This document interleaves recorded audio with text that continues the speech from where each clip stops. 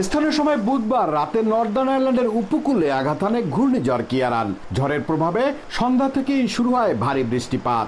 এতে তলিয়ে গেছে বহু ঘরবাড়ি ও রাস্তাঘাট। পানিবন্দী হয়ে পড়েছেন হাজার হাজার মানুষ। দেখা দিয়েছে চরম দুর্ভোগ।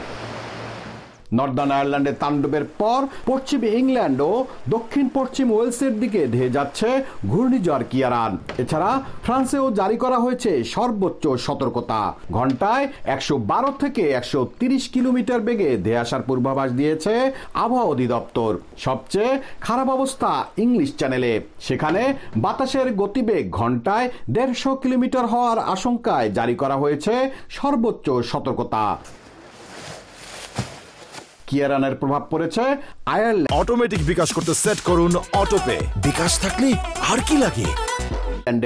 দেশটির দক্ষিণ ও পূর্ব উপকূলীয় কাউন্টিগুলোয় প্রবল ঝড় বৃষ্টি ও বন্যার সম্ভাবনার কথা জানিয়েছে আবহাওয়া বিভাগ। প্রাণহানি ও ক্ষয়ক্ষতি এড়াতে উপকূলের বাসিন্দাদের নিরাপদে সরে যাওয়ার নির্দেশ দেওয়া হয়েছে। সৈয়দ জুয়েল সময় সংবাদ উত্তর আয়ারল্যান্ড।